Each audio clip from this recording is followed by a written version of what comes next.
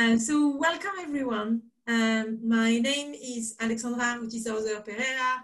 I am the head of nutrition for Action Against Hunger UK and I will be moderating today's discussion. Um, the, the reason why uh, I am uh, moderating this, uh, this discussion, uh, one of the reasons I think it's because I really like my accent. Uh, the second reason uh, is because the background of these uh, webinars um, is from um, uh, a group that uh, was formed two years ago based on a document that was published in 2016 called Putting Kwashiorkor on the Map, where we really wanted to, to highlight the geographic repartition of, uh, of Kwashiorkor. I say we, uh, even though it was my, uh, my predecessor at Action Against Hunger UK who brilliantly uh, was, was working on that uh, with, uh, with some other experts. So taking over, I really wanted to make sure that all the researchers working on Kwashiorkor, because unfortunately um, there are not that many, have a space, an informal space where they can talk and, and exchange. So we, we came up with the idea of uh, developing a series of, uh, of webinars and so this one is the third one, which is uh, part of this uh, series. Um, if you are interested in learning more about this group of informal researchers and practitioners working on Kwashiorkor, you will have my contact at the end of the webinar. Uh, contact me afterwards uh, and I can let you in. Um, so this series began in October uh, where we discussed the, the data on the characterization and the treatment of Kwashiorkor at the time. In November, we reviewed the overt uh, signs of, uh, of. Uh, and today we have an increasing number of uh, people participating. We are at 62 right now. Um, to to uh, listen to a, a, bit of a different format, today will be more of a conversation turning around the metabolic and biochemical characterization of uh, Kwashiorkor. So next, next slide, uh, Mary. Um, just a few uh, housekeeping items before we get into the, the discussion. Um, this webinar is scheduled for one and a half hours, and so we will hand uh, on, on before that. And I'm sure you're all familiar with uh, Zoom now. This is definitely uh, uh, the application of the year. Um, and but just in case, on the bottom of the screen, you uh, actually have a few functions. We will use both the chat and the Q&A buttons. So if you have any issues with the, the platform, like um, the sound is not working, please let us know through the chat. Although if the sound is not working, you might not hear me saying that. Um, so any other logistic issues, just use the chat. And if you have a question for the panelists, I will be the one uh, collect, collating all those questions and making sure that they arrive at the right time. So please use the, the Q&A for that and I'll gather them. So uh, next slide, um, Mary. And today I'm really, really uh, thrilled uh, to be joined by um, six extremely uh, brilliant people for, uh, for this discussion. Uh, we have Bryan Gonzales, who have been with us from the start of these webinars and really, really core into the team that, that developed them. And Bryan is uh, the assistant professor at uh, Wageningen University in the Netherlands, and he's also the co-principal investigator of a project on Kwashiorkor pathophysiology, which is led by MSF and Epicentre. And um, he also collaborates with the CHAIN network on uh, Kwashiorkor research. Then we have Professor Asha Badaloo, uh, who for many years has been really an integral member of the metabolism team exploring metabolic differences between edematous and non-edematous childhood malnutrition at the Tropical Metabolism Research Unit in the University of the West Indies in Jamaica. We also have Dr. Robert Bandsma. He's a pediatric gastroenterologist, nutritionist, and translational scientist at the Hospital for Sick Children, Sick Kids in Toronto, Canada, his research focuses on elucidating the pathophysiological mechanisms underlying the vulnerability of malnourished children and develop novel therapies using both preclinical models and clinical studies. I think you are trying to, to trick me uh, into uh, trying to see if I would pronounce all of this right, Robert. Um, Jay Berkley is also with us. Um, he's a professor of pediatric infectious diseases at the University of Oxford and he's based in Kenya. Jay founded and co-leads the Childhood Acute Illness and Nutrition Network, or called CHAIN, and he undertakes clinical trials among children with malnutrition and in neonates, as well as uh, mechanistic studies in infection, inflammation, and immunity. Dr. André Briend, do I need to introduce him, really? Uh, retired from WHO in 2009 and is now adjunct professor at the University of Tampere and affiliated professor uh, at the University of Copenhagen, Denmark. He's also been uh, working uh, with uh, Mary Fitzpatrick, who's on the call, uh, and Bryan and, and myself for, for all these webinars. So thanks a lot, Andre. And finally, uh, last but not least, uh, Thaddeus May is trained in pediatric gastrology and hepatology and is an assistant professor of medicine at Baylor College of Medicine in Houston. He works, his work in Malawi um, is focused on understanding the nutritional causes of kwashiorkor. So if I am not giving you uh, a lot of, uh, of experts uh, tonight to uh, feed your appetite on knowledge of kwashiorkor. Um, I don't know what else to do. So in a moment, we will hear from Bryan. Uh, and as I said, today will be a little bit different than the previous webinar, a bit of a different format, a bit more conversational. And um, Bryan will, will, provide you and explain the, today's topic, but we will really focus on three topics. Um, one, uh, and next slide, Mary, I think. Uh, the chapter one on uh, macronutrient metabolism, chapter two on zooming in on liver dysfunction, and chapter three on albumin and, uh, and beyond. You will see that we'll spend quite a lot of time on macronutrient metabolism because um, we think that um, this is a topic that will probably generate the most um, discussions. And our, our, speakers will debate some of the questions related to, uh, to each topic. And then compared to uh, the last time, we will actually take a Q&A to take questions from the audience after each chapter.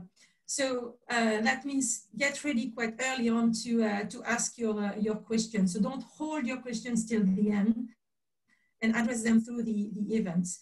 Uh, don't worry if they don't come to you uh, at first and if at the end you still have a question for chapter one, we, we will also save some time for, uh, for this, so no worries about that. Been talking way too much for uh, a non-specialist on kwashiorkor on this webinar, so I'm now turning it over to Bryan. Thanks a lot.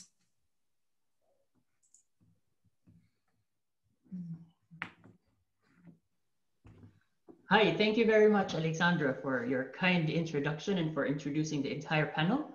So um, for this uh, webinar, uh, we will start uh, the, for a first chapter. Um, I will be presenting major findings uh, that are reported on the metabolism of kwashiorkor or edematous malnutrition. Then I will call on the panel to give their insights. Uh, just a disclaimer, it is my job to stimulate a discussion, indeed not to say that I don't agree with anything, but um, we will try to challenge each of these findings so that we can have a better understanding of the metabolic dysregulation that occurs in kwashiorkor. So next slide, please. I want to start with protein metabolism. So kwashiorkor has been described as a protein problem. Uh, specifically, it has been uh, described as a protein intake problem.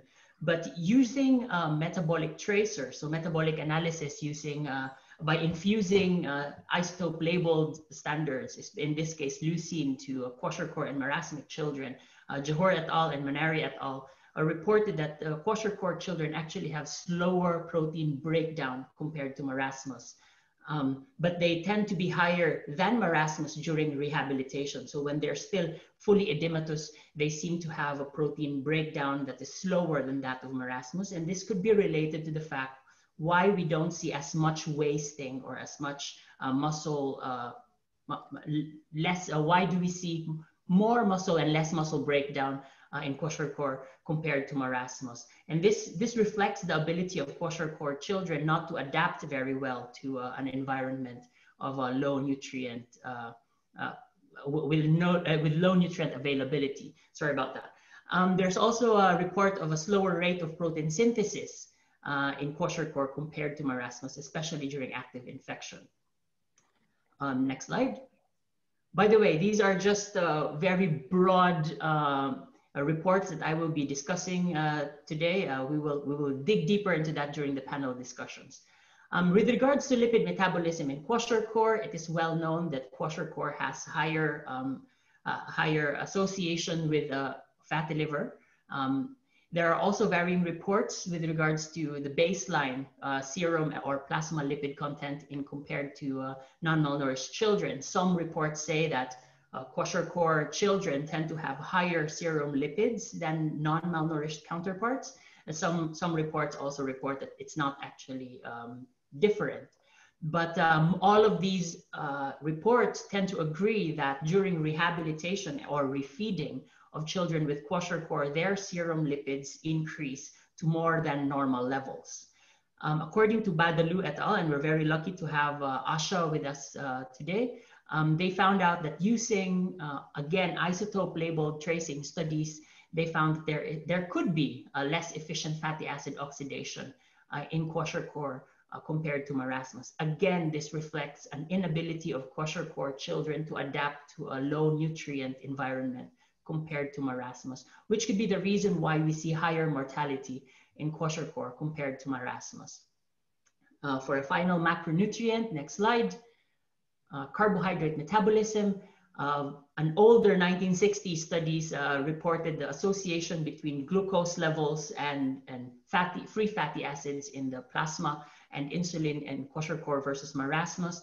In this study, they found that um, consistently uh, in, in 12, 12 days of observation that in marasmus children, they have low blood glucose levels, they have normal glucose tolerance test results, but they have low plasma free fatty acids and low plasma insulin levels. Whereas for kwashiorkor children, they observe that they have high free fatty acids, which uh, um, I mentioned already a while ago. They have an impaired glucose tolerance and they have somehow normal to high plasma insulin levels. However, more recently, much more recently in 2012, there is a study conducted by the lab of uh, Robert Bandsma, which we are very lucky to have today. Um, and they found that kwashiorkor and marasmus children actually have both have impaired glucose clearance and uh, insulin secretion. Um, and it is influenced by serum albumin levels, however. And uh, this is reflective of a disturbed beta cell function in both kwashiorkor and marasmus. So that's it for my presentation. Um, for, for us to be, uh, if you do have questions on these specific, um, uh, on these specific references, uh, you can send me an email or tweet. Uh, I had my Twitter um, profile a while ago. Um, but now let's move to our panel um, to help us dissect and evaluate and even challenge some of these findings. So I request our panelists to please turn on your cameras. Hello, there we are. Thank you very much. Um, all right, so before we go deep into the metabolism of kwashiorkor, I would like to start with Asha. So Asha, last year I was in Jamaica, we had a meeting and I was informed that the malnutrition ward in your hospital has recently been shut down. So can you share with us uh, this news? Why, why was it shut down? I think there are two main reasons. Well, thanks, Bryan, and good morning to everyone. Um, the two main reasons I think the health centers are catching them early so that they do not progress and they intervene so the children do not progress to severe acute malnutrition and also due to the availability of a cheaper source of milk, cheaper milk products. Uh, I think it points to the, the, fact that maybe malnutrition is really a social issue.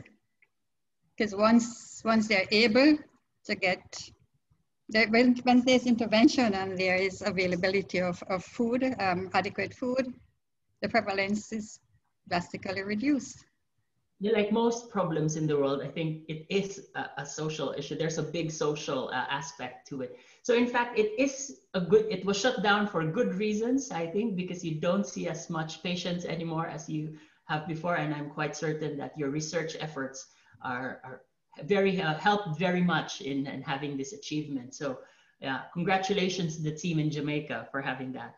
But I'm um, going back to the metabolism of, of kwashiorkor, because many of these studies, in fact, uh, these mechanistic studies were performed in Jamaica at the time, I'd like to ask you for your, your general take on these results. Uh, what were your overarching um, hypotheses to begin with, and what were your overarching uh, conclusions based on these studies?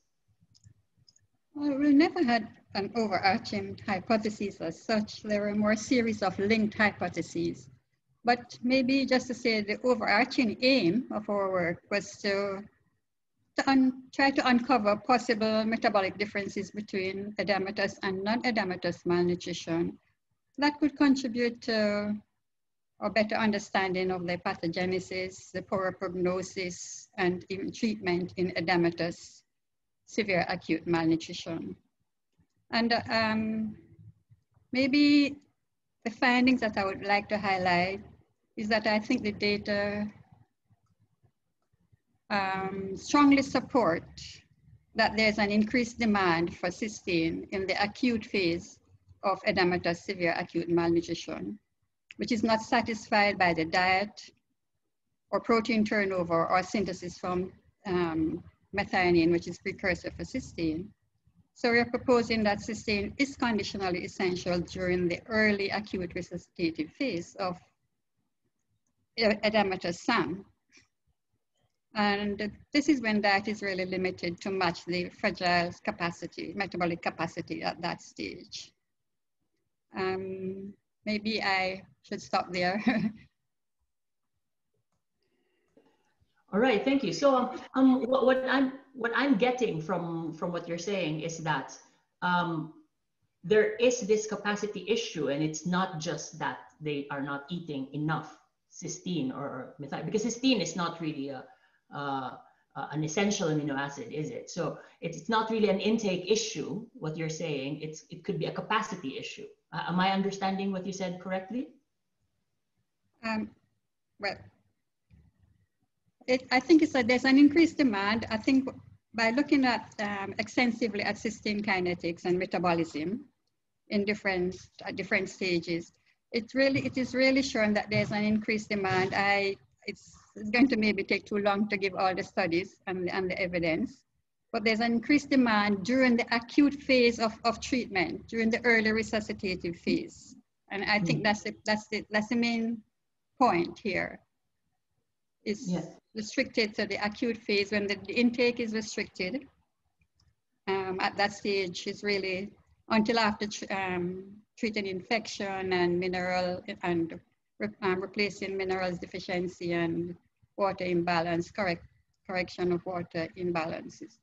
So we are saying, what we, we think that there's an increased demand for cysteine at that stage of the treatment.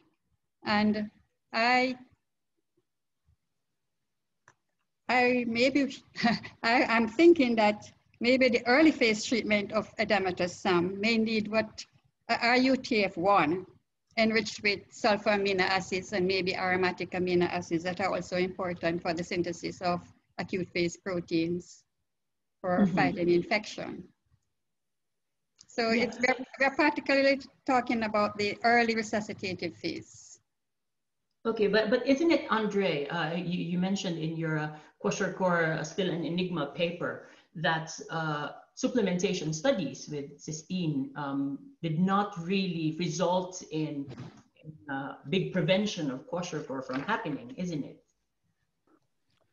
Well, uh, are you referring to the study which was done in uh, Malawi or are you referring to clinical studies? Actually, there were very few studies. I mean, this is a general comment I made the first, during the first seminar.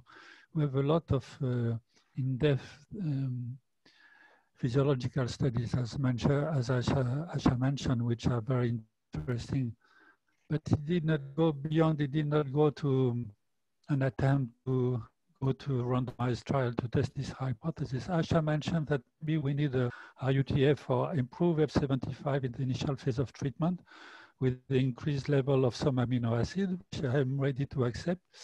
But to test the hypothesis, this hypothesis we can argue for years until we don't have some proper trial testing the idea. I think the, the discussion will become circular. So mm-hmm. this is why I don't know what to think at this stage. But yeah. I want to ask you the same. I want to make the same comment and uh, ask Asha. So apparently, Asha, you put a lot of emphasis on this um, problem of cysteine in, intake during treatment. But what what about before? Because you know, during the first webinar, Mary presented data suggesting that uh, in her study from DRC, children who lived in areas with a high prevalence of kwashiorkor, apparently they had a lower protein intake and also lower sulfur amino acid intake. So what do you think uh, of the role of this sulfur amino acid in the, as a initial uh, involvement in the pathogenesis of kwashiorkor? In terms of the pathogenesis, um, well, it, it may contribute to the impairment in and skin function or hair and, and hair and gut function because of they're rich in cysteine. But we really started with looking at glutathione when it was shown that glutathione concentration is lower in edematous children and not the non-edematous children. And we measured the rate of synthesis directly. It was lower in the edematous children. And then we continued to say, okay, why, why? And we we thought it was cysteine because cysteine is the, of the three peak amino acids that are precursors for glutathione, cysteine was the lowest, observed the lowest in concentration in the edematous children with the supplementation. And it was um, glutathione concentration was restored in a short time, uh, about nine to 10 days. So we, um, then we we asked the question, why, why low in edematous and not edematous children? We looked at protein turnover. We found that there was a total um, reduced flux of cysteine and methionine and production of cysteine from methionine. There's increased uptake, um, uptake of cysteine, about 50% in both actually, in the edematous and non-edematous children. Um, um, in terms of uh, we also did a supplementation with methionine that did not, did, did not um, change the glutathione concentration. And that I, maybe there's a limitation to the conversion of methionine to cysteine, but there are demand also for methionine for other important processes in the body, uh, methylation of DNA and, and many others. We all, um, well, I, I mentioned this splanchnic uptake. um, but I also like to point out that uh, there are there is also a study coming out of Jamaica pointing to the prenatal effect of, of kwashiorkor. So oh, yes, yes, it could we, be programmed that the demand is indeed increased and that you know the diet is one factor, but it's not explaining um, everything. That there is a biochemical problem happening in these children that would require them probably to have more. Um, is, is my understanding correct, Asha? Yes, the, the, we're finding that, uh, we found that birth weight in the edematous children um, is about 333 grams on average, larger than that for marasmic children. And yes, there is a theory of in, um, in utero effects and uh, the thrifty, thrifty gene um, story for marasmic, that marasmic children are best, best adapted for famine versus kwashiorkor children.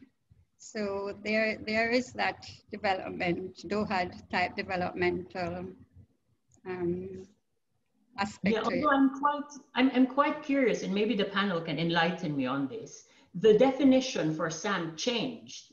So in, in these studies in Jamaica, before they used the Wellcome Trust classification, um, although the, the definition for kwashiorkor core did not really change, edema is still there. The definition of the comparator group, which is the marasmus, changed. You know, in, in the Wellcome Trust, we have less than 60% for weight for age, whereas now we, we are more on weight for height and MUAC uh, definition.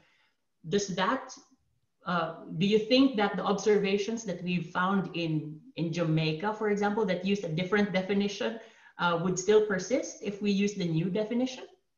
What do you think, Andre?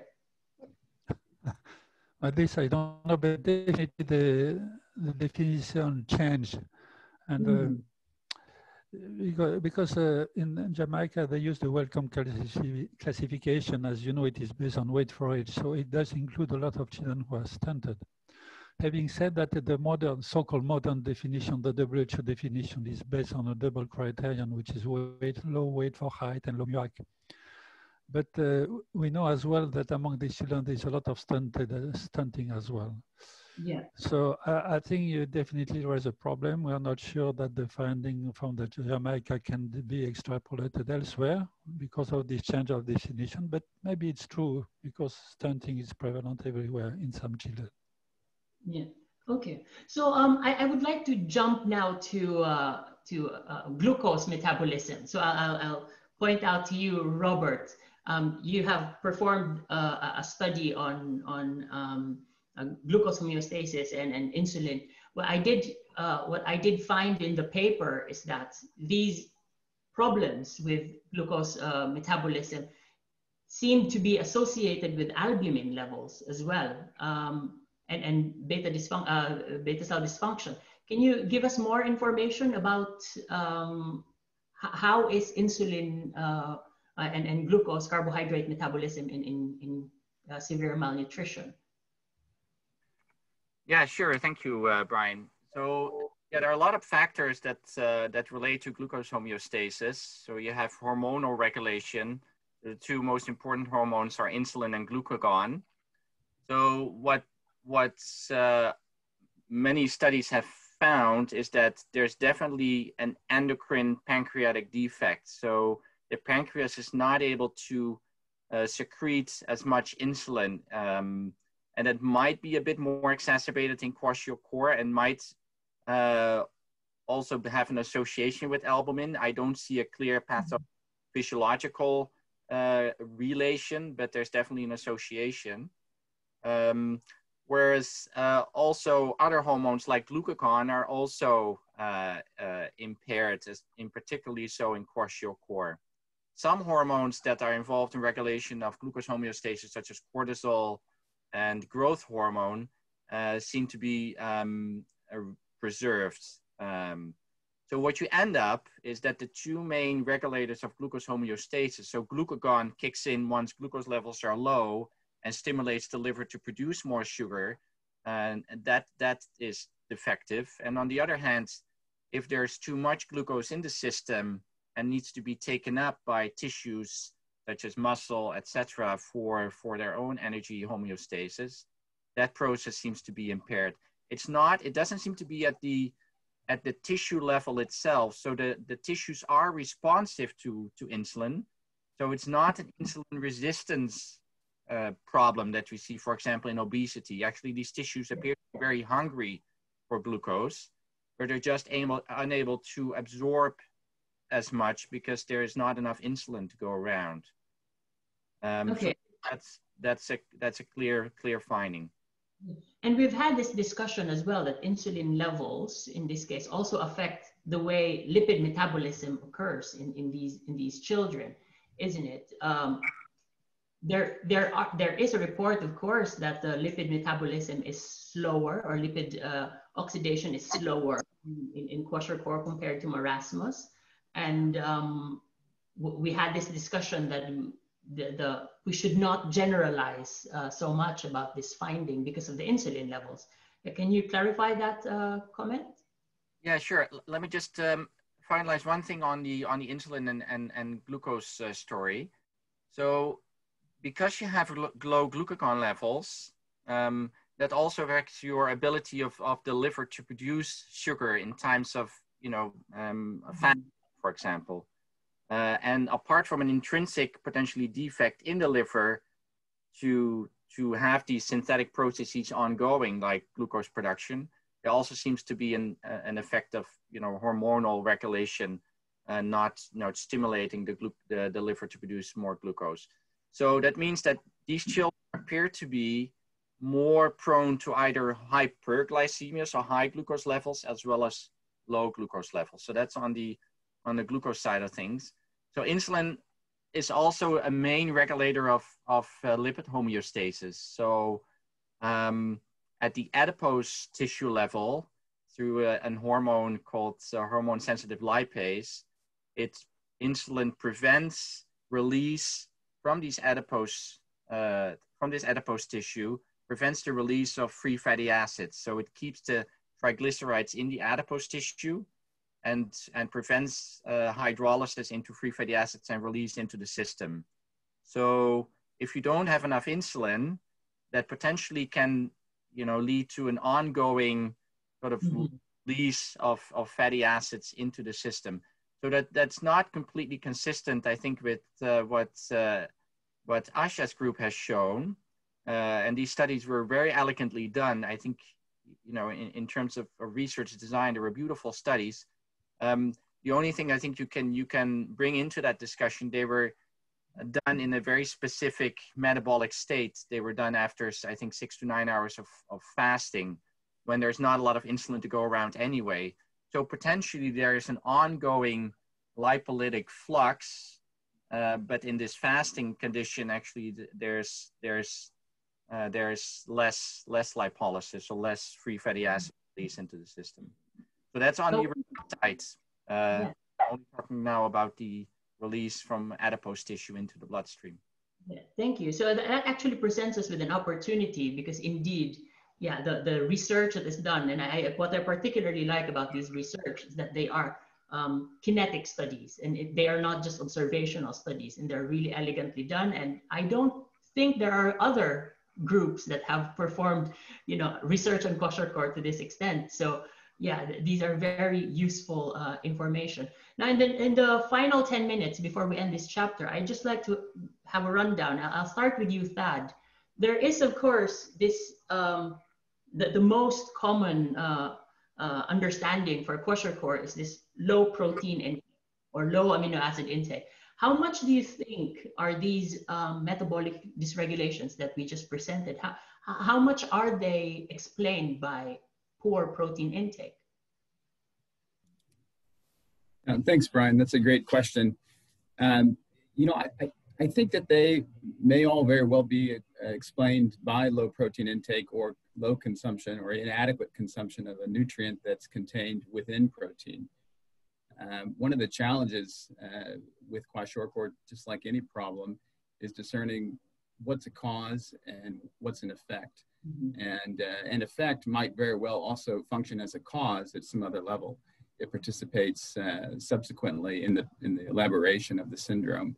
So, for instance, uh, we know from animal models that diets that are very low in methionine and choline, for example, also result in uh, impaired uh, oxidation of fatty acids. And that impairment of fatty acid oxidation in kwashiorkor, for example, as, an, as a hypothesis, might contribute to the uh, elaboration or pathogenesis of fatty liver disease in kwashiorkor. So that's an example of, of how, uh, again, as a hypothesis, not something that's established, how a, a nutrient that's present in protein, again, methionine, might participate in the uh, pathogenesis of a molecular lesion that then then causes uh, a subcellular lesion, which then again contributes to the overall pathogenesis of these organ level lesions. So uh, teasing all of that apart is very difficult. And um, it's um, sort of uh, like looking at an ongoing uh, uh, you know, combustion event, a fire or something like that, and trying to understand where the fire started can be can be really challenging. But uh, each year we what I'm, yeah. what I'm getting here is that we have two fronts here. There could be low protein um, intake, but at the same time, as, as what Asha was uh, um, explaining a while ago, it could be that there's a higher demand. Uh, so even if you know there could be not really a deficiency, uh, because these children have very high demand uh, compared to normal, then that's probably one of the pathways that lead to kwashiorkor. Um, we have five more minutes uh, remaining before we, we hand it over to Alexandra for questions. Um, my question here is, we've seen that there is a problem with insulin, with insulin secretion, there is problem with glucose tolerance, there's high lipids, there is fatty liver. However, the way we treat kwashiorkor right now nutritionally, we give them F75, which is high, high in sugar. We give them RUTF, which is high in fat. So I'd like a reflection from the panel on how we think, are, are we treating the metabolic problem in kwashiorkor correctly, uh, given the composition of the diet we're giving them? Um, I'll start with Jay because Jay is really uh, in, in Kenya and uh, um, yeah, doing all these clinical trials. So what do you think, Jay? Um, I mean, I think it seems logical that there, there should be a different composition of um, feeds, of, well, F75, F100, RUTF, uh, for the different phenotypes. Um, the problem is that we don't, because of the lack of sort of detailed knowledge, we don't know what those differences should be. And as far as I'm aware, no trials have specifically examined uh, differences in response to different compositions of feeds. Um, it might be, I mean, we, Robert and I ourselves have done sort of revised formulation of IUT, of um, F75, and there's been other studies looking at formulations of, of. And I think there could be great opportunity in um, going back to the data from those, those trials and, and, although it wasn't necessarily one of the original objectives of the trial to actually look at responses um, differentially in um, wasting, wasting and, and kwashiorkor. Um, so yeah, so currently there's no evidence to support uh, uh, different different types of treatment, but there are some theoretical reasons uh, why they may differ. And I just wanted to go back to a point that Thad made, and I think others have touched on, which is I mean, I think when we measure things um, and we find something is low, we tend to think of it in terms of a deficiency, a deficiency of intake or storage. Um, and I think that the point about you know measuring thing, we're measuring a snapshot of a highly dynamic, uh, a highly dynamic process, uh, and and so you know it's, it's perhaps only by sort of nudging the system by by giving, say, a larger amount of one particular nutrient, whether it's cysteine, choline, you know, methionine, tryptophan, whatever, whatever it is, and then measuring a sort of a response to that, that I think we would eh, really get any insight into what what the dynamics uh, are. Um, yeah. Yeah. Um, how about you, André? You've worked, of course, in the development of these uh, therapeutic feeds. Um, is there a need to uh, create a specialized feed for kwashiorkor to address these uh, metabolic problems? Uh, maybe, maybe. but uh, uh, Jay, Jay, Jay and Robert could mention that we were we spent a lot of time a few years ago thinking about ways of improving um, F75 formula, and uh, this led to the to a trial with an alternative formula, which is uh, uh, less carbohydrate and more fat and uh, low, no lactose and so on. A lot of change which we thought would bring some improvement and the result was there was absolutely no change in outcome. And as far as I remember, I, I agree with Jay, the sample size was not enough to disentangle, to examine separately what happened in kwashiorkor and marasmus, but as far as I could uh, see, there, there was no major difference in any of these subgroups. Maybe Robert can comment on that. No, I think you're right, uh, André. I think that was absolutely, uh, absolutely correct. So even though you, we come up with, you know, hypotheses based on these physiological uh, uh experiments that have been done uh, that that are seem to be plausible, uh, but uh, the, the actual reality is more, uh, more challenging. Um, one thing perhaps to add to that is there is some calorimetry data, and we've, we've also recently, actually, Farzana Afroze and Priska Harari and uh, um, um, Farnaz Krishnevisan uh, in Bangladesh and, and Malawi, respectively, they've done a calorimetry study where it seems that, that especially early on, when these children are hospitalized, their energy um, the energy expenditure, so how much energy they actually produce or need, uh, seems to be quite different. So if, if you think about F75, where we give you know 90 to 95 kilocalories per kg per day, with a lot of macronutrients that they need to oxidize and, and, and utilize. If there are defects there and overall metabolic rate is, is much lower in kwashiorkor, perhaps it makes sense to give fewer calories early on in that, in that process. That's, I think, something to bring into the discussion. Yeah, okay. Um, I guess that's for now. Uh, we can stop there. Let's ask uh, Alexandra if we have some interesting questions uh, coming from the audience. Yes, uh, so they came a, a little bit uh, just just now. Um, so uh, glad to see that people were very attentive and now um, asking questions. So we have a, a, question which is quite clinical. I'm not sure we have enough details, but we'll give it a try because it's actually about uh, a particular case. Uh, and I know that myself, I would need a little bit more information to be able to answer, but let's give it a shot. So um, we have a question regarding a kwashiorkor patient who is in outpatient treatment, whose weight has been fluctuating, but the edema subsided and they had initially referred, they tried to uh, refer the child back in, in inpatient because um, the child had three cross edemas. Uh, they tested the child is HIV and TB negative. What would you um, advise? And I am very aware that uh, I think we would need a bit more information, but maybe um, maybe one of you might want to, to take that and uh, and maybe say, like, you know, what are the other information that we need? Unfortunately, unfortunately we can't chat, but um, uh, would somebody want to take that question? Yeah, so I, would like to I'd certainly like to know how much the weight is changing, but I think you have to bear in mind that weight changes over a very short period of time are likely to be entirely due to fluid changes.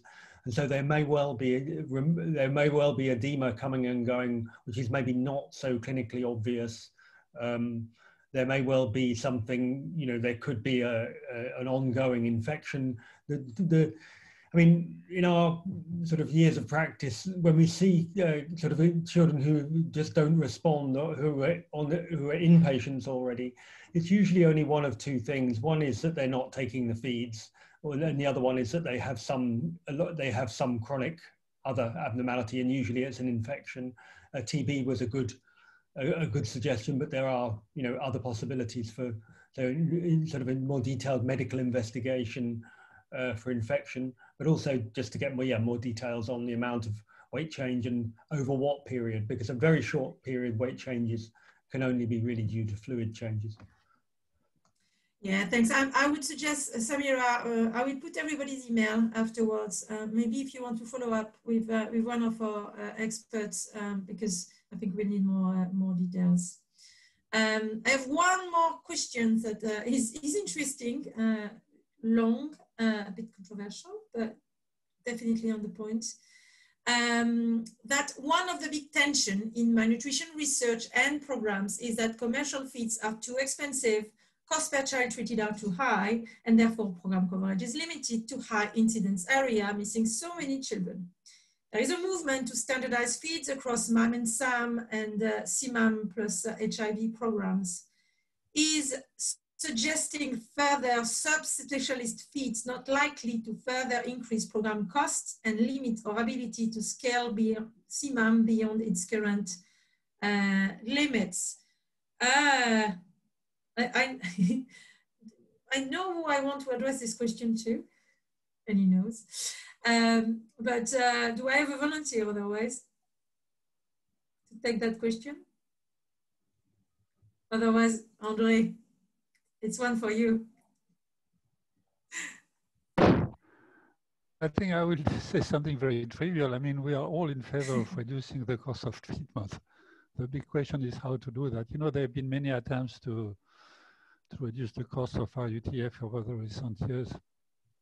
And uh, so far there was no dramatic change. So I don't know, I don't know, I don't have an easy answer to that. The problem yeah, is that I mean, the cost I, I of have, this will... Yeah. No, go for it. Also, yes. So I don't have an easy answer to that. I wish I wish we could have these uh, products at a very low price. But, uh, at this stage, it's a bit of a wishful thinking. If anybody has a solution, please let me know. Yeah, no, I, and I agree um, because I uh, I uh, I also agree. Like we we work a lot on this, uh, obviously, uh, and uh, making sure that you reduce the cost to increase the coverage doesn't mean that uh, if you find that the product is not the best for a child and increases the length of stay and potentially also causes relapses in children because it doesn't work that well um, you also have a responsibility here, and that's where I have no solutions either. Yeah, this is part of, of the problem. This is part of the problem that there have been alternative for formula which have been proposed were slightly less expensive, but uh, by and large they result in lower weight gain. And the treatment duration is mathematically is related to the rate of weight gain. So if you have product which result in lower weight gain, the saving is minimum. It's minimal. Yeah. So uh, I don't have a magic answer to that. André, is coverage ever estimated as part of uh, that assessment? Because I think the question is specific to, you know, there may be a, a, a trade-off between longer longer treatment and getting better coverage if it costs the costs are the same. I, I, I will just take this one, James, uh, simply because actually the, the team I work with in the UK office is a team of uh, coverage specialists. And I have to say, um, there is not enough research done on simplified approaches that includes coverage. Um, and uh, we have to be very careful because we can't just make assumptions on uh, the fact that reducing costs can increase coverage. We need to look at both. Um, so we need to be very careful with that. I'm going to move on um, because we will have also some, some time at the end for more general questions and that's a bit of a general question. So um, Bryan, I will leave you the floor on liver dysfunction. Thank you very much. Um, I haven't really been saying my opinions, but I'll just pitch one opinion uh, um, on, that last, last question. Um, I'll just like to say that, uh, yes, it is very important, practically speaking and logistically speaking, to take these into account. However, that's a problem that we can tackle once the product is there. There's really no point discussing all these if we don't have any product in, you know, I think that children with malnutrition deserves as much research uh, as, as a person in, in, in Europe. And we, we are spending a lot of money here in Europe for precision nutrition.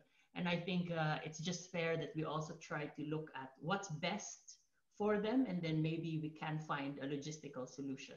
That's just uh, an opinion. So there. Ryan, um, you went a bit quieter again. If you could just increase your, your voice, uh, we are facing the, the problem again. Oh, how about you now? need to shout. Oh, really? Okay, that, that's that's a pity. Um, but I, I hope my voice is still there, though. It's back now. Okay, it's back. Um, yeah, I will not repeat what I said. um, yeah, uh, just to say that um, all these this uh, all these problems that we've found that we've discussed uh, a while ago, um, you know, uh, carbohydrate metabolism problem, increased uh, liver fat, uh, increased uh, serum fatty acids, and, and problems with protein metabolism, they seem to all boil down to one central organ, and that is the liver. Of course, there are other organs that are responsible, but you know, the liver seems to be something that a kwashiorkor child seems to be having a problem on. So for this next uh, chapter of this discussion, we'd like to zoom in on the liver liver function in kwashiorkor and the role of liver metabolism in explaining the pathophysiology of kwashiorkor. I will not be presenting any slides. Let's just go straight to our panelists. Um, so I'd, I'd, like to invite our panelists back uh, on a translational research. Um, I, would pose this question to Thad and Robert, being hepatologists. Just a question, how dangerous is having fatty liver? In a, in a child, in a malnourished child? Is it something comparable to a fatty liver we see in, in obesity contexts? And are we doing something specifically to address fatty liver um, in, in kwashiorkor? Uh, Thad, maybe we can start with you. Sure. Yeah, thanks, Bryan. I, the, the presence of fat in the liver is um, quite common, and thankfully it's not lethal most of the time. So I think to say that it's particularly dangerous um, would be uh, to misrepresent the problem. Um, and that's certainly the case uh, in, in rich countries in North America, Europe, and Asia as well. So, but the, the presence of fat in the liver, especially when it's associated with undernutrition, seems to be well correlated with metabolic dysfunction. And so it's a it's an early sign. And if we, you know, looking back at some of the, the uh, post-mortem studies in Uganda and uh, serial biopsies done in South Africa, there is a, a sense uh, as early as the, the, late 1940s that fatty liver in kwashiorkor is the first pathological lesion to come and the last to leave. Um, and, uh, you know, that suggests that whatever is happening in kwashiorkor at a nutritional level, uh, and also at a, at a subcellular level with regards to its underlying disturbances, that it, it's, it centers on the pathogenesis of a fatty liver. So it's, it's a sign that may give us important clues for understanding how we can do a better job of preventing and treating kwashiorkor. Yeah, but it's not really something we are monitoring, isn't it, Robert? No, it is actually very difficult to monitor, and I would like to echo that's I think elegant uh, explanation. If we, you know, the the disease that's, uh, you know, the main disease that involves fatty liver is non-alcoholic fatty liver disease, which is projected, or I think already is now the main indication for liver transplantation. So definitely, it's it it, it can be detrimental uh, for the liver, but that's usually, you know, years long process. It's a chronic, slow deterioration uh, that doesn't necessarily exclude the possibility that having fat in the liver and especially certain certain lipid species can be lipotoxic and further cause damage to the liver. Um, but I, I, agree with that. I don't. I think it's a sign, but I, I, my thought is that it probably doesn't contribute considerably to to its poor function. It's a sign of poor function, but uh, it's the other way around. Yeah, uh, but both of you have, have been um, researching on a, a, a preclinical setting the pathogenesis of this fatty liver. So I'll start with you, Thad. What have you learned so far using animal models on how these fatty liver, uh, how these uh, lipid accumulates in in uh, the livers of malnourished uh, in, in, a malnourished state? Thanks, Bryan. Yeah, I, it's an interesting topic, and uh, people have been interested in, in it for a long time. You know, and as early as um, 1920, uh, they were uh, trying to use uh, uh, certain nutrients, macronutrients, casein in that, in that case, to prevent the pathogenesis of edema and fatty liver in an animal model of, of uh, nutritional edema. and then later on, in the um, in the early 50s, late 40s, people started using one carbon nutrients in isolation. And so that would, those are B12, folate, methionine, and choline to prevent the pathogenesis of fatty liver and edema in animal models of nutritional edema. Uh, and those were murine models, not uh, primate models.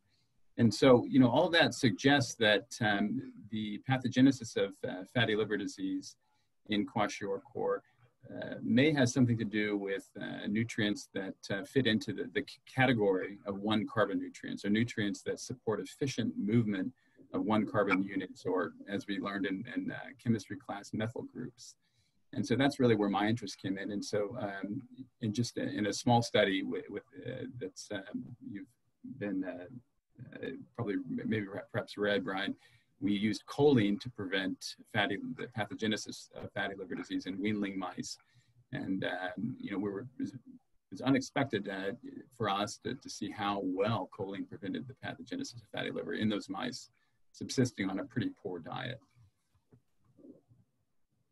Uh, choline in this case would be helpful in the packaging of, of the, the, the lipids, right? To, to take it out of the liver. Um, but Robert, I, I, know that you have a, a different or, or maybe a, a similar mechanism um, that, that you, you found out in your animal models. Can you uh, give us more explanation about it? What, what have you found out in, in, in animal models? Yeah, I, I think uh, Thad and I are looking at, I think, somewhat similar pathways, but uh, from a slightly different angle. So if you look at, you know, how does fat get into the liver? There, there are a couple of options. So one is the liver is making more fat, uh, which is what we see in non-alcoholic fatty liver disease. And that's probably not the case in kwashiorkor. The other thing is, and that uh, brings us back to uh, Asha's experiments, uh, is there more influx into the liver of, of, of lipids? Um, so Asha's experiments suggest that that's perhaps not the case. Um, um, so uh, the, the third option is that the liver is not able to secrete the, the lipids uh, out of the liver because that's normally what the liver does. It, it's it basically it's a it's a logistical center and it accepts lipids and then sends it out again to the tissues.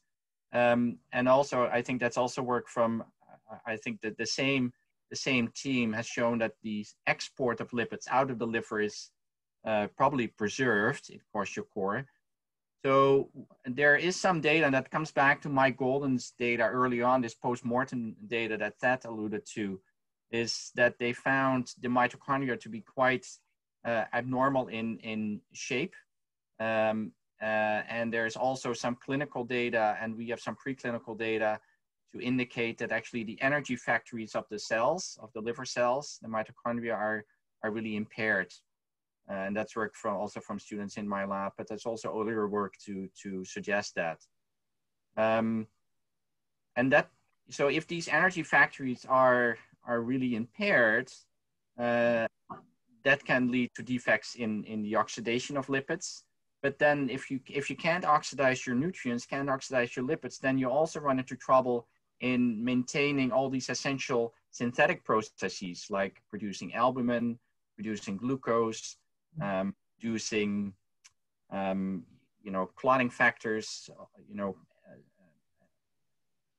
yeah, cytokines, so etc. Yeah. So, uh, um, with we so there is a problem with the liver. Uh, there is a problem with metabolism, but we also know that in kwashiorkor, they they tend to have higher mortality rates. Now, I, am just curious. So I, I will direct this question to you, Jay the reasons for, for increased risk for mortality in kwashiorkor or, or in SAM in general, are any of these directly related to metabolic dysfunction or the liver dysfunction? Okay, um, the studies that I've looked at um, do vary a little bit. Some of them do have an, a higher mortality for kwashiorkor, and um, some of them have a, a, a, lower or similar mortality for kwashiorkor and wasting. I think it also very much depends on the setting, and we have to remember that a lot of the earlier work was done before the sort of current differentiation into complicated and uncomplicated uh, severe acute malnutrition. So that, that makes quite a difference. Um, I think there's no doubt that when um, the, the, the, children with kwashiorkor are more difficult to manage. They're, they're more on a knife edge. You, you, know, if you look at their fluid balance, you give, give them too much, they have a problem. You give them too little, they have a problem. And that sort of that that space, that the, the space that you can operate in sometimes just gets narrower and narrower. So they are very difficult to manage. And if you think about it, if that child was admitted in Oxford uh, they would be in intensive care. They would have all kinds of monitors and the sort of all their central venous pressures and everything else would be being monitored, and uh, you know all all of the metabolic things would be being monitored as well. And so you know I think it also depends on the setting that you're you're, you're working in. I think in settings where children, you know, where there's a sort of a high level of medical care, I think tend to be the ones where the, there's not so much difference in in mortality. I think where medical care is less good, uh, then they're likely to have much higher mortality. There's some evidence they have an increased susceptibility to bacterial infection, which is also actually seen in other edematous diseases. So it's not just in uh, in kwashiorkor. So I think that, you know again, you know whether you're it's a centre which is sort of able to aggressively treat infection, manage fluids, um, can keep keep the keep the mortality more similar.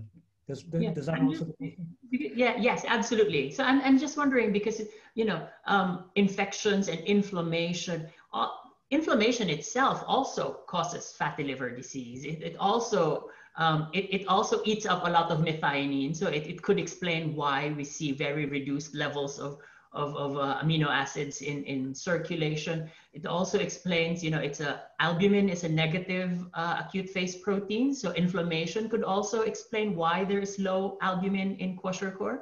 Um, yeah, just for a final, a final question, I'm just wondering, it could be that what we're seeing is just an artifact of having a child that's more inflamed than the other one, is it?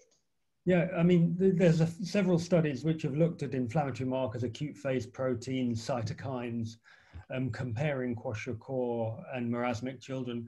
And they all show the same thing. They all show that children with marasmus are fantastically more inflamed. Um, they have much higher levels of these uh, inflammatory proteins.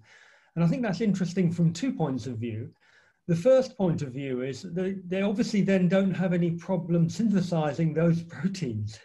Uh, they may have problems synthesizing albumin, they may have problems uh, fulfilling all kinds of other metabolic requirements. Um, but they certainly don't have a major problem in, in generating very high levels of CRP and the pro-inflammatory cytokines, other acute phase proteins. And I think that tells us something. And, and as you say, the, the infl inflammation itself is a real driver of abnormal lipid metabolism. You know, you get increased triglyc circulating triglycerides, uh, and, and, it's a real dry, it's a real uh, so yeah, it has direct effects on things like uh, ability to break down protein and, and, and metabolize protein. And at the same time, you're going to be using a lot of sort of basic building blocks in order to make those pro-inflammatory um, responses. And so some of the things that we see as, oh, look, they're deficient in this, may simply that they be that they're churning through it very rapidly in this huge uh, inflammatory response. And yeah, absolutely. Just, just to add as well that yet many of these cytokines are sulfated proteins. So, you know, the reason why we, we, are, we are seeing less sulfated amino acids is probably because they are converted into these cytokines that we were not measuring before. The, the interesting thing is that we haven't yet got a good description of the inflammatory environment compared to, say, the skin changes and mm. things like that, which, which I mean, the skin changes look like you know other things which are very pro very sort of inflammatory type conditions and whether there's a, a different inflammatory environment with children with kwashiorkor plus skin changes from those without skin changes uh, we don't yet have a good idea but i saw debbie is actually on the call. There's various people interested in this. Uh, so yeah welcome welcome any input on that. All right so uh, Bryan? yeah i'll pass it on to alexandra now. Good you hear uh, so we didn't have a lot of questions, so that's why I let you go on a little bit. Um, we, we actually had a, had a question that you, you, you had for your panel, uh, which was about the, the mapping the, the main causes of death uh, and is the deaths linked to uh, the syndrome itself or more linked to its management? But I think that's what exactly what you were answering, Jay. So um, fabulous we have another question, um, which is maybe not fully liver, um, but uh, it's about the, the differences in marasmus version kwashiorkor and what are actually the profile in, in those mixed presentations. And by profile, um, the, the person means the differences in glucose, liping, serum, uh, etc. Um, so the person would like to hear a bit more about that. So I, I, I understand that they, they the, the, the, person was asking about marasmic kwash patients. Uh, yeah, the differences between marasmus and kwash in terms of uh, the, the profile of the lipid glucose serum profile. What are the differences? Well, okay, um, I, think I can answer that. Uh, now we have we have focused indeed on specific macronutrients, right? A protein um, metabolism. But in terms of uh, the profile of lipids, I don't think that we've seen a lot of evidence or like a lipidomic uh, comparison, for example, of kwash versus marasmus. Um, I have seen uh, papers suggesting that there are higher um, lipid um, lipid uh, like serum concentrations of inflammatory lipids like leukotrienes and prostaglandins are increased in in kwashiorkor, which could be related to this, this painful cry that uh, Regina was, uh, was uh, alluding to uh, in, in the previous uh, webinar series.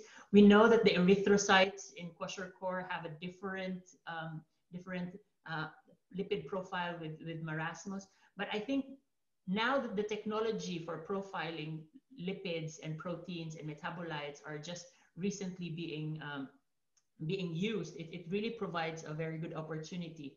Um, I just just like to say one thing. We we we often say that okay, we see small, uh, you know, lower methionine or lower this or lower that in kwashiorkor compared to marasmus. But I'd like to highlight uh, a paper published by Robert's group, uh, Di Giovanni uh, et al., um, on the metabolomic uh, differences between kwashiorkor and marasmus. And you will see in that paper that majority, if not all of the metabolites they found were actually lower in kwashiorkor. So it's not just methionine, it's not just individual amino acid. It appears that a lot of these, uh, an entire profile is actually lower in kwashiorkor, which as a chemist, I, I, would like to question, is this a matter of dilution? Is there a, is, is, does edema cause a dilution in the blood of these children? I don't know the answer. So. Okay, we'll have to to uh, to to move on. There is an interesting question. I'm pretty sure we don't have the answer, but it's definitely, I think, a good research question.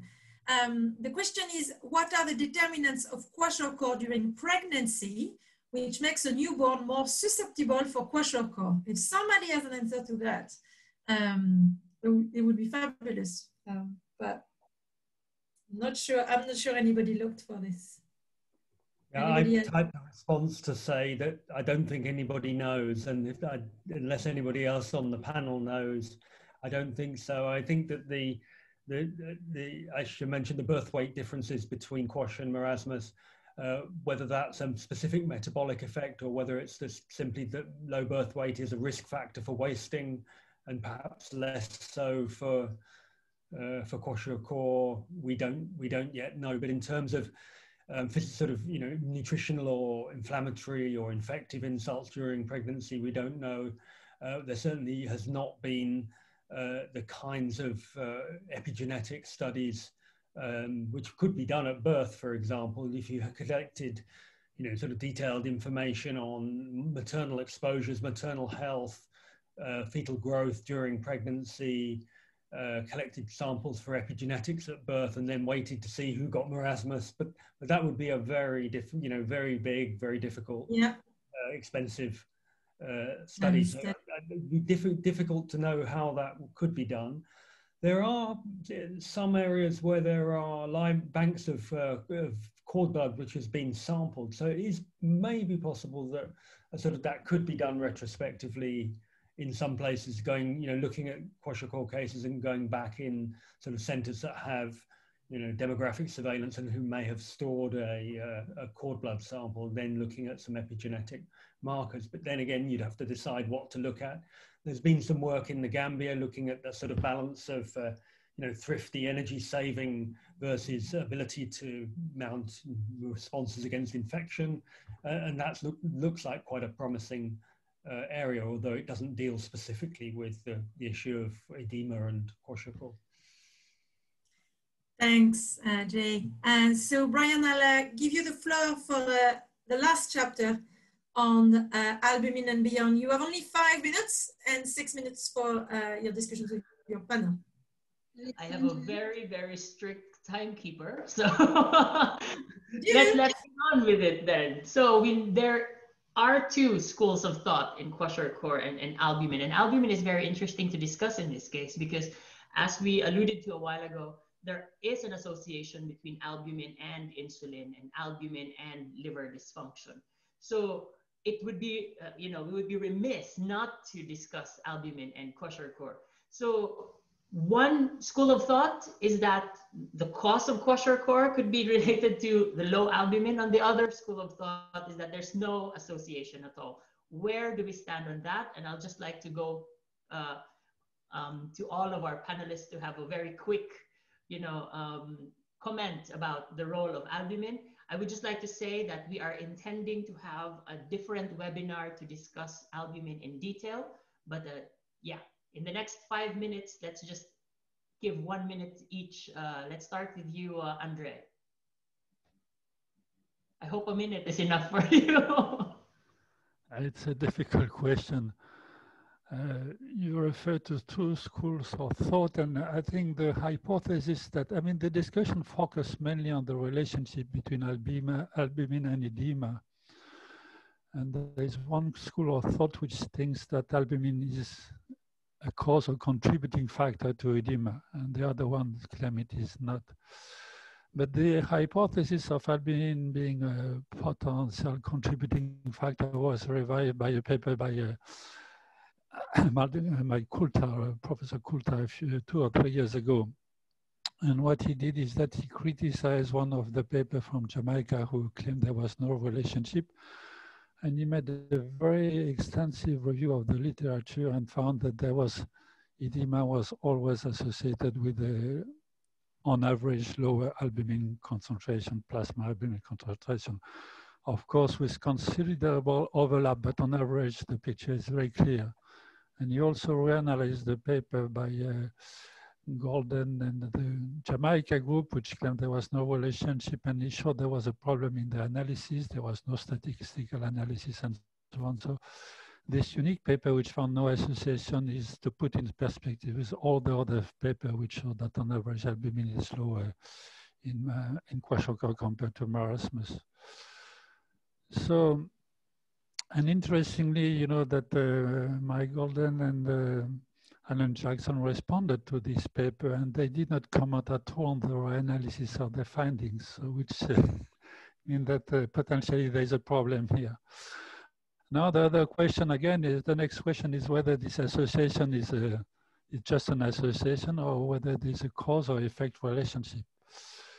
So to be clear, I don't know the answer to that. What is, uh, what is sure is that um, Mike Golden claim that there was uh, it was non-causal and he based uh, his argument mainly on uh, saying that the Starling principle is something which has been abandoned by physiologists and so on. So he mm-hmm. claims that albumin has no role in the fluid transfer.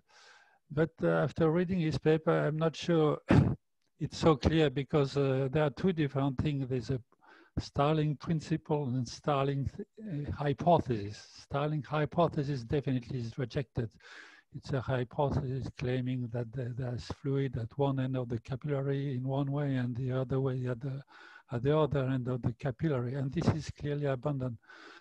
But the Starling principle, which is based on the biophysical law, is still there. It's based on the second principle of thermodynamics. And when you look at the equation uh, describing uh, the fluid transfer, clearly there is a albumin is there. But there are yeah. many other factors. So which one is predominant? To this day, we don't know.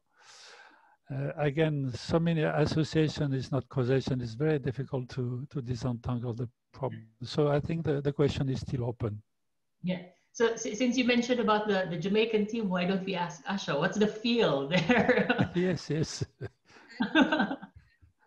I was not really part of, those studies. Um, but also, want to point out that we, there is low albumin in some marasmic children also. Um, and um, just to make up one, I think one of the questions was really about kwashiorkor and marasmic kwashiorkor as classified by the Wellcome classification. And those two syndromes are lumped together, I think, as kwashiorkor. And there might be differences really in, in the metabolism of the non-wasted kwashiorkor core and the marasmic kwashiorkor, core, which is more, more wasted in mm-hmm. terms mm -hmm. of the, the, the, question before and uh, maybe with albumin and I, I, I don't really know the answer neither. But it's interesting to know that it is there's it is low in some non-edematous children. Yeah. But also to, to, to just say that indeed that third intermediate group, which marasmic kwash, it's not really researched a lot, is it? But no. if you look at mortality of these children, they are actually the highest mortality group. So that's quite interesting. Um, I'll pass it to, to Jay. Just very quickly uh, before Alexandra shoots us, albumin and, and kwashiorkor, what do you think? Well, I, I, think that the, the higher mortality in the marasmic quashed points to me to them being two different mechanisms and you have the contribution of mortality from each mechanism. I mean, we've looked at the literature when we've actually got a lot of our own data now on albumin levels uh, in kwashiorkor, different grades of kwashiorkor. And there is certainly a very strong association between having edema and the degree of edema with the level of albumin. However, there are also some children without edema who have very low albumin. So although there's a strong association, we do see that the low, very low, albumin, although you're more likely to have kwashiorkor at very low albumin levels, not every child does have kwashiorkor. And so I think my reading of the situation is that albumin does play a role, um, it, but it's not sufficient to account for the whole thing because having low albumin doesn't make everybody have kwashiorkor. Um, so there's another factor which means that when you, when in the presence of low albumin, you go you go on to get kwashiorkor. We're not really seeing any kids with kwashiorkor with normal or high levels of albumin at all, whereas you do see that in some of the marasmic kids. Yeah, thank you. Um, what do you think on, on a hepatology uh, perspective? Uh, where do you stand on that debate?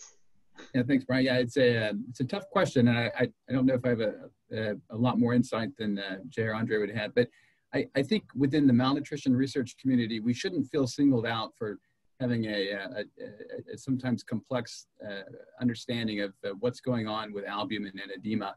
The same thing happens in uh, adult patients who have uh, sometimes massive ascites or edema, but have uh, you know completely normal albumin levels uh, or, and, the, and the converse is also true. So the pathogenesis of edema and its relationship to hypoalbuminemia is, not only uncertain in kwashiorkor, but also in, in a number of different disease conditions. And so I think the, there's still a lot of basic science research that needs to be done on this topic. And uh, so I, again, I don't, I don't think there's something particularly unique about this um, sometimes very complex and difficult to understand relationship of albumin and edema and kwashiorkor. Finally, Robert, would you like to wrap things up with your with your no, opinion? I, no, I think uh, Thad and, and Jay and the others, I think uh, they all made very valid uh, points. For me as a clinician taking care of children with end-stage liver disease who often have very low albumins because of, uh, you know, the liver is not able to produce the albumin, definitely, you know, it's well accepted we treat. If, if the ascites, the, the, the, the, fluid, fluid accumulation becomes uh, challenging to manage with diuretics, uh, and the albumin is very low, we give them albumin uh, and uh, usually they respond. So there's, I, I think both Thad and Jay, I think said it nicely. It, it, it's not black and white. It's not either or. It probably plays some sort of role, but it's definitely not the whole picture. If you want to talk about, you know, why the albumin is low, I think, you know, also based on, on Asha's work, there's definitely a synthetic issue with producing albumin, but whether, for example, partial core patients have more protein losing enteropathy, so lose more proteins, or they they have more renal loss of of uh, of protein, proteinuria. I mean, there there's so much we don't know yet around, you know, the homeostasis of albumin. Yeah, very interesting. Um, I would just like to say that, you know, of course, my final note uh, with regards to what Andre said about the, the Starling principle, um, the fluid movement the, the main, one of the main, you know, main characters of that principle is having the semi-permeable membrane in between that allows for certain solutes to go out. And even Mike Golden suggested that that, you know, with the glycosaminoglycans, that barrier could be destroyed. So if you indeed destroy that barrier, then, you know, this principle of movement, flu uh, fluid movement by osmosis is then you know, not functioning anymore. But as I said, we will have a different webinar on the albumin. It's an entirely, or even three webinars. And uh, let's see the, the, what the audience thinks from Alexandra. Yeah, so you were you were lucky. I uh, I didn't shoot you. I do not shoot people. Uh, I'm anti-guns. Um, yeah, there was a question uh, but not not too many, so I'll let you go on. Um, so one question is uh, very specific, uh, asking if there is any specific alteration in fatty acid metabolism in kwashiorkor children. Somebody wants to take this. I guess that's something that we discussed uh, in, in the first chapter. Uh, there, yeah.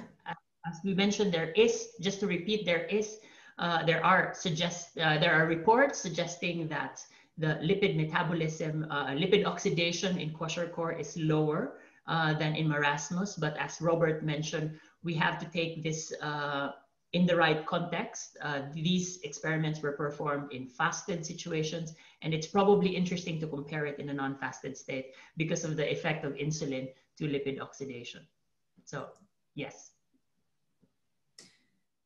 Thanks, Bryan. So um, I think I don't have uh, any more questions at, uh, at this stage, so I will uh, give you three minutes to uh, sum up the, the discussions. Um, well, basically do whatever you want, but it's three minutes. Uh, if you want to get something additional from someone, uh, go for it. Um, but uh, three minutes. I can give my one minute to anybody who'd like to uh, give a, a, a, parting words. I, I see I, I Jay. to ask a question of, Rob, of Robert actually, but uh, is that okay?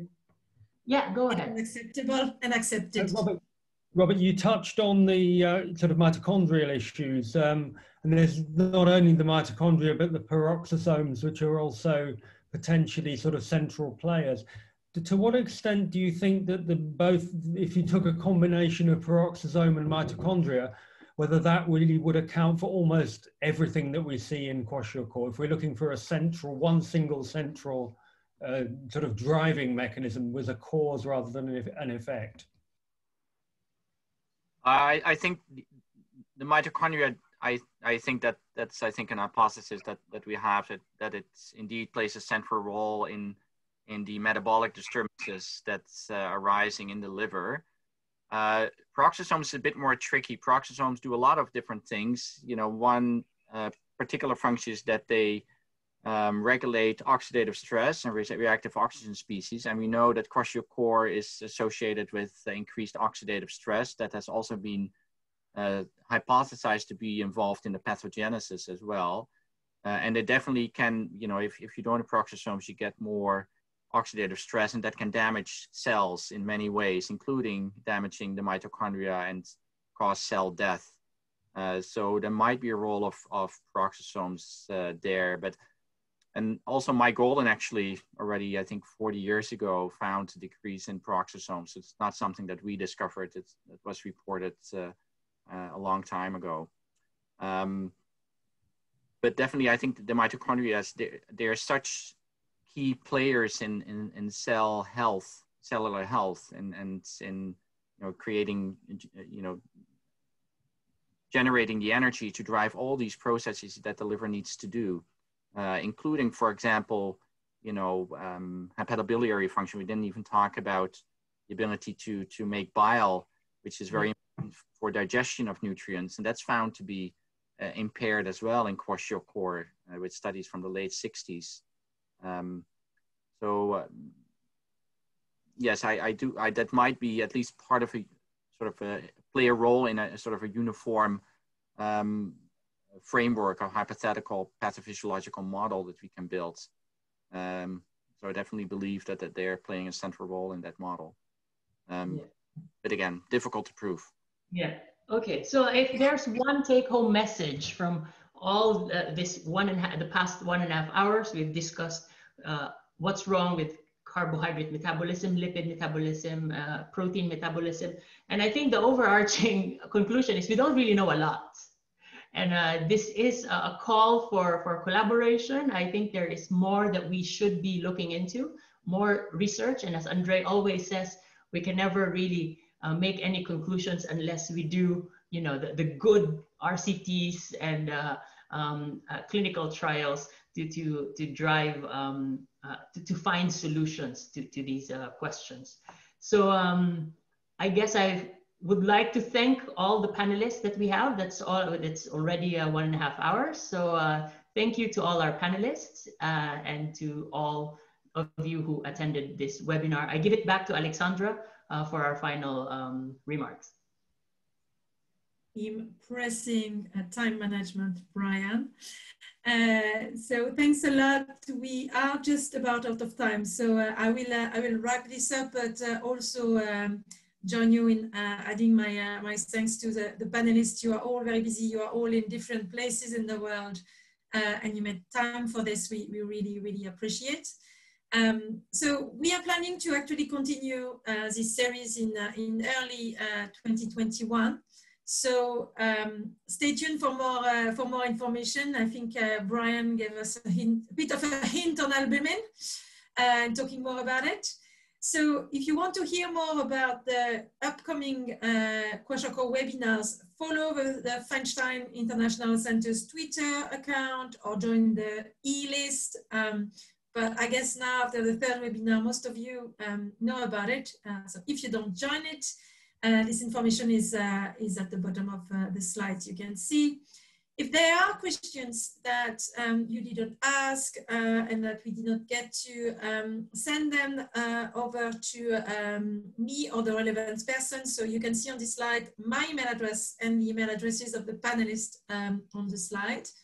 And um, as a follow-up, we will also share the webinar recording with you as soon as it's uh, ready. So thanks a lot. Thanks a lot for your participations and your questions uh, and your uh, and your patience. And um, have a good weekend. And this concludes our webinar for today. Thanks a lot and goodbye.